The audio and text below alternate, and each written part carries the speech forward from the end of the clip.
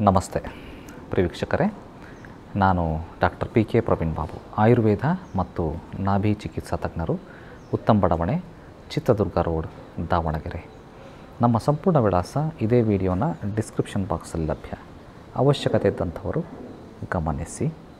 ಇವತ್ತಿನ ವಿಷಯ, ಕೆಲವರು ಸುಮ್ಮ ಸುಮ್ಮನೆ ಆರು ತಿಂಗಳಿಗೊಂದು ಸರಿ ಎಲ್ಲ ಬ್ಲಡ್ ಚೆಕ್ ಮಾಡಿಸ್ತಾರೆ.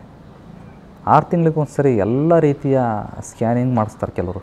ಇ ಸಿ ಜಿ ಮಾಡಿಸ್ತಾರೆ. ಯಾಕೆ ಮಾಡಿಸ್ತೀರಿ ಅಂತಂದರೆ, ನಾನು ಕರೆಕ್ಟಾಗಿ ಅದಿನ ಇಲ್ಲ ಅಂತ ಚೆಕ್ ಮಾಡ್ಕೊಳಕ್ಕೆ ಅಂತ ಹೇಳ್ತಾರೆ. ಆಫ್ಕೋರ್ಸ್ ನನಗೆ ಖುಷಿನೇ. ಅವರಿಗೆ ಇಷ್ಟೊಂದು ಹೆಲ್ತ್ ಕಾನ್ಷಿಯಸ್ ಇದೆ ಅಂತ ಹೇಳಿದ ಮೇಲೆ ನಾವು ಅದನ್ನು ಗೌರವಿಸಬೇಕು. ಒಳ್ಳೆಯದೇ ಅವಾಗ ಇವಾಗ ಚೆಕ್ ಮಾಡಿ ಕಳಿಸ್ತಾ ಇದ್ದರೆ ನಿಮ್ಮಲ್ಲಿ ಆಗುವಂತಹ ವ್ಯತ್ಯಯಗಳು ನಿಮಗೆ ಗೊತ್ತಾಗ್ತವೆ, ಬೇಗ ಎಚ್ಚೆತ್ಕೋಬೋದು. ಬೇಗ ವೈದ್ಯರ ಹತ್ರ ಹೋಗ್ಬಿಟ್ಟು ಅದಕ್ಕೆ ಏನಾದರೂ ಸಮಾಧಾನಗಳನ್ನು ಕಂಡುಹಿಡ್ಕೋಬಹುದು ನಾನು ಅದನ್ನು ತಾತ್ಸಾರ ಮಾಡಲ್ಲ, ಅದು ತಪ್ಪು ಅಂತ ಹೇಳಲ್ಲ, ಅದು ಸರಿಯೇ ಆದರೆ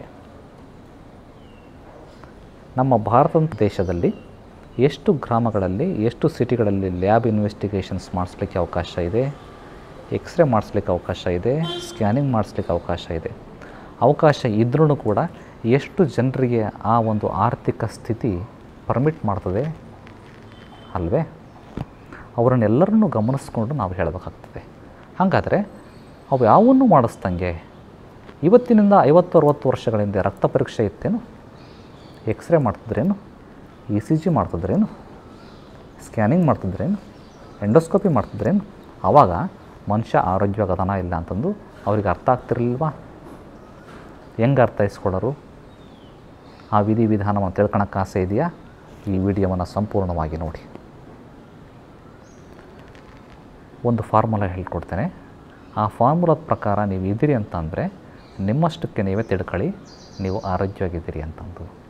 ಸುಮ್ಮ ಸುಮ್ಮನೆ ಆತಂಕ, ಭಯ ಬೇಡ. ಆತಂಕ, ಭಯ ಅರ್ಧ ನಿಮ್ಮನ್ನು ಸಾಯಿಸುತ್ತೆ, ಕಾಯಿಲೆಗೀಡು ಮಾಡುತ್ತೆ. ಯಾವುವು ಆ ಫಾರ್ಮುಲಾ? ಪಾವ್ ಗರಂ ಹೋ, ಪೇಟ್ ನರಂ ಹೋ, ಸರ್ ಟಂಡಾ ಹೋ. ಪಾವ್ ಅಂದರೆ ಏನು? ಹಿಂದಿನಲ್ಲಿ ಪಾವ್ ಅಂತಂದರೆ ಕಾಲು, ಪಾದ. ಪಾವ್ ಗರಂ ಹೋ. ಪಾವ್ ಇದೆಯಲ್ಲ ಕಾಲು? ಬೆಚ್ಚಗಿರ್ಬೇಕು ಕಾಲು ಮುಟ್ಟು ನೋಡ್ಕೊಳ್ರಿ, ಬಿಸಿ ಇರಬೇಕು. ಮನುಷ್ಯ ಸತ್ತನ ಬದುಕ್ಯಾನ ಅಂತಂದು ಹೆಂಗೆ ನೋಡ್ತಾರೆ? ಕಾಲು ಮುಟ್ಟು ನೋಡ್ತಾರೆ ವೀಕ್ಷಕರೇ. ಕಾಲು ಇನ್ನೇನು ಉಸಿರು ಕಟ್ಟಿ ಸಾಯ್ತಾ ಇರ್ತಾರಲ್ಲ, ಅವಾಗ ನೋಡಿದ್ದೀರಾ ಕಾಲಿಗೆ ಅರಷ್ಟು ಪುಡಿ ಹಾಕಿ ತಿಕ್ತಾರೆ ಹಿಂಗೆ. ಕಸ ಕಸ ಕಸ. ಅನುಭವ ಆಗಿರ್ತದೆ, ನೋಡಿರ್ತೀರಿ. ಟಿ ವಿಗಳಲ್ಲಿ ನೋಡಿರ್ತೀರಿ. ಉಸಿರು ಕಟ್ಟಿ ಸಾಯ್ತಾ ಇರ್ತಾನೆ ಮನುಷ್ಯ. ಅಥವಾ ನೀರಲ್ಲಿ ಮುಳುಗಿ ಉಸಿರು ಕಟ್ಟಿ ಆ ಆ ಅಂತಿರ್ತಾನೆ. ಅಂಥ ಸಂದರ್ಭದಲ್ಲಿ ಏನು ಮಾಡ್ತಾರೆ ಅವನಿಗೆ? ಕಾಲು ಉಜ್ಜುತ್ತಾರೆ ಕಾಲು ತಣ್ಣಗಾಗಿರುತ್ತೆ ಅವನಿಗೆ. ಕಾಲು ತಣ್ಣಗಾತು ಅಂತಂದರೆ ಮನುಷ್ಯ ಸಾಯ್ತಾನೆ ಅಲ್ಲ, ಸಾವಿಗೆ ಹತ್ರ ಆಗ್ತದಾನೆ ಅಂತ ಅರ್ಥ. ಇದರ ಅರ್ಥ ಸಿಕ್ಕಾಬಟ್ಟೆ ಎಕ್ಸಸೈಸ್ ಮಾಡ್ತಾಯಿದ್ದರೆ ಆ್ಯಕ್ಟಿವ್ ಆಗಿದ್ದರೆ ಕಾಲು ನಡಿಗೆ ಮಾಡ್ತಾಯಿದ್ದರೆ ಕಾಲಲ್ಲಿ ರಕ್ತ ಸಂಚಾರ ಚೆನ್ನಾಗಾಗ್ತಾ ಇದ್ದರೆ ಕಾಲು ಬಿಸಿ ಇರ್ತದೆ. ಆ್ಯಕ್ಟಿವ್ ಆಗಿದ್ದರೆ ಮಾತ್ರ ಕಾಲು ಬಿಸಿ ಇರೋದು. ಈಗ ನೆಕ್ರೋಸ್ ಎಂಥದ್ದು ಗ್ಯಾಂಗ್ರೀನ್ ಆಗಿರುತ್ತೆ ನೋಡಿದ್ರೇನು ಕಾಲಲ್ಲಿ. ರಕ್ತ ಸಂಚಾರ ಆಗ್ತಾ ಇರಲ್ಲ. ಅವ್ರ ಕಾಲನ್ನ ಮುಟ್ಟು ನೋಡ್ರಿ ತಣ್ಣಗಿರುತ್ತೆ. ಗ್ಯಾಂಗ್ರೀನ್ ಆಗಿರೋ ಕಾಲು. ಅಂದರೆ ಆ ಭಾಗಕ್ಕೆ ರಕ್ತ ಸಂಚಾರ ಆಗ್ತಾ ಇಲ್ಲ ಅಂತ ಅರ್ಥ.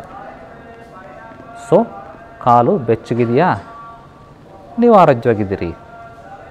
ನೆಕ್ಸ್ಟ್ ಕಮ್ಸ್ ಪಾವ್, ಗರಂ, ಹೋ. ಪೇಟ್ ಪೇಟ್ ಅಂದರೆ ಹೊಟ್ಟೆ. ಪೇಟ್, ನರಂ, ಹೋ. ಹೊಟ್ಟೆ ಮೆದುವಾಗಿರ್ಬೇಕು. ನರಮ್ ಅಂದರೆ ಮೆತ್ತಗಿರ್ಬೇಕು. ಹೊಟ್ಟೆ ಮುಟ್ಟು ನೋಡ್ಕೊಳ್ಳಿ ಮೆದುವಾಗಿರ್ಬೇಕು, ಹೂವಂಗಿರ್ಬೇಕು. ಕೇಳಿದಿರಾ ಭಾಳಷ್ಟು ಜನರು ಎಲ್ಲರದು ಹೊಟ್ಟೆ ಟೈಟ್ ಆಗಿದೆ. ಹೊಟ್ಟೆ ಕಲ್ಲಾಕದಂಗೆ ಆಗೈತೆ ಹೊಟ್ಟೆ ಒಂಥರ ಹಿಡ್ಕೊಂಡಂಗೆ ಆಗೈತೆ ಹೊಟ್ಟೆ ಒಂಥರ ಊದ್ಕೊಂಡಂಗೆ ಆಗೈತೆ ಹೊಟ್ಟೆಗೆ ಗ್ಯಾಸ್ ತುಂಬ್ಕೊಂಡಂಗೆ ಆಗೈತೆ ಹೇಳ್ತಿರ್ತಾರೆ ಎಲ್ಲರೂ. ಹಿಂಗೆ ಆತು ಅಂತಂದರೆ ನಿಮ್ಮದು ಡೈಜೆಸ್ಟಿವ್ ಸಿಸ್ಟಮ್ ಸರಿ ಇಲ್ಲ. Digestive system is the mother system of all system. Digestive system ಸರಿಯಿಲ್ಲ ಅಂತಂದರೆ ನಿಮಗೆ ಯಾವ ಆಹಾರವೂ ನಿಮಗೆ ದಕ್ಕಲ್ಲ ಯಾವ ಔಷಧಿನೂ ನಿಮಗೆ ದಕ್ಕಲ್ಲ ಡೈಜೆಸ್ಟೇ ಆಗ್ತಾಯಿಲ್ಲ ನಾವು ತಿಂದಿದ್ದು.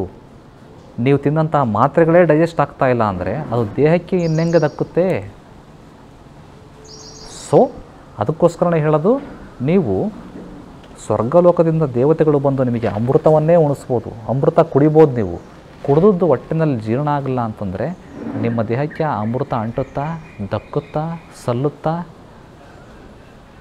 ಕುಡಿದ್ವಿ ಅನ್ನೋ ಸಮಾಧಾನ ನಿಮಗೆ ದೇಹಕ್ಕೆ ಅಂಟಲ್ಲ, ಅದು ಹಾಗೇ ಹೊರಗೆ ಬಂದಿರುತ್ತೆ.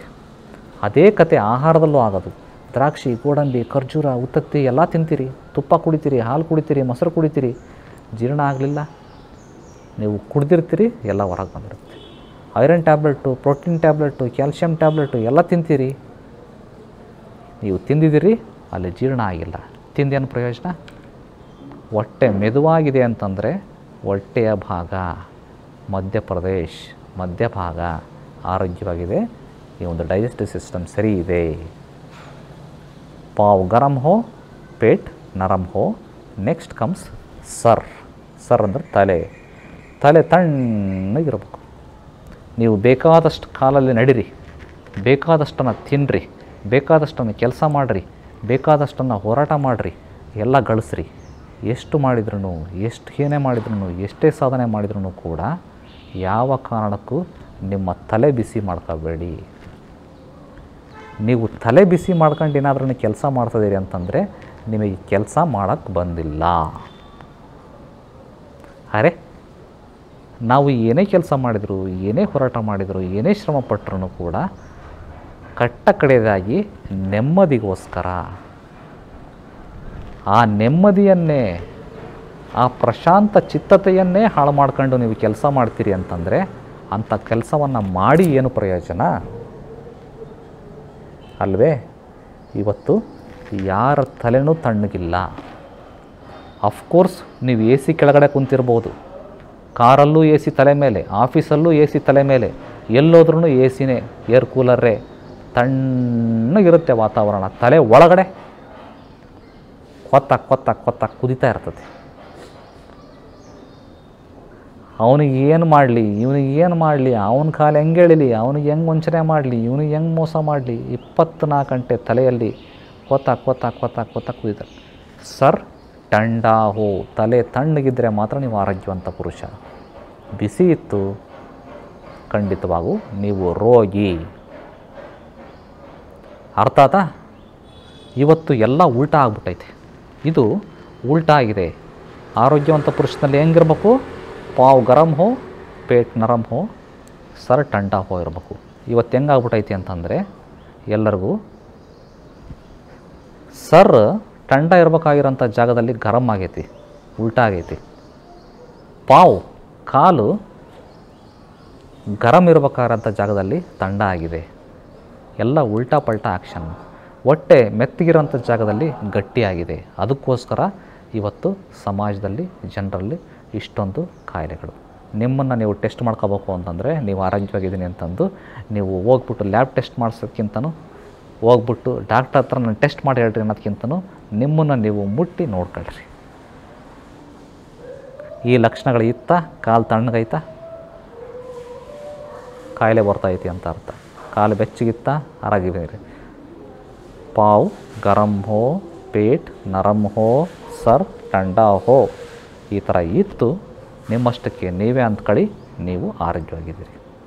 ಇದಕ್ಕೆ ಮತ್ತೆ ಯಾರ ಸರ್ಟಿಫಿಕೇಷನು ಬೇಕಾಗಿಲ್ಲ. ವಿಷಯವನ್ನು ಎಲ್ರಿಗೂ ಶೇರ್ ಮಾಡಿ.